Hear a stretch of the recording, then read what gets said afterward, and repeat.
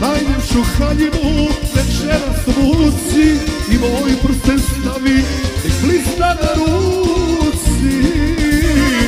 Upleti u kosu ružu bijele boje Želim da upoznaš roditelje moje.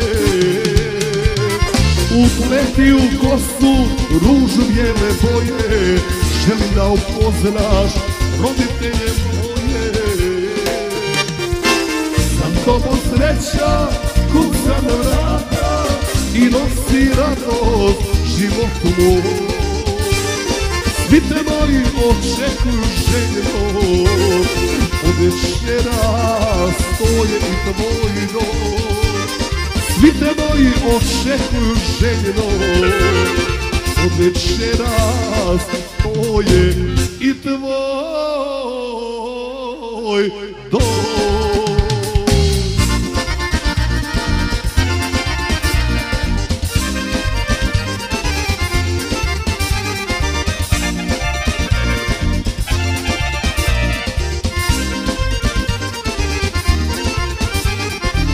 Pričao sam majci o ljubavi našoj I za tebe često upita i sama.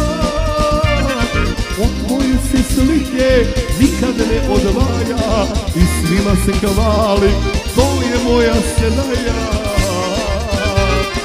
Od tvoje se slike nikad ne odvaja I svima se hvali, to je moja sedaja sreća kuca na vrata i nosi radost životu moj. Svi te moji očekuju željeno od večera svoje i tvoj dom. Svi te moji očekuju željeno od večera svoje i tvoj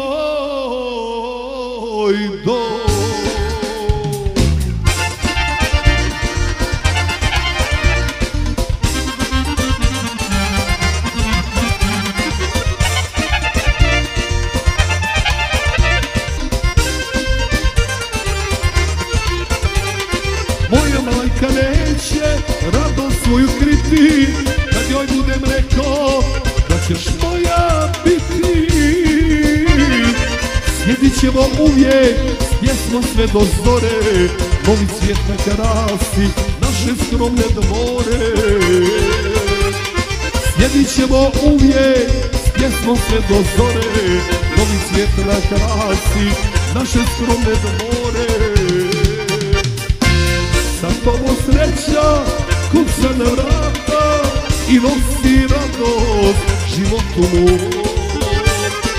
Svi te moji očekuju željeno, od večera stoje i dom. Svi te moji očekuju željeno, od večera stoje i tvoj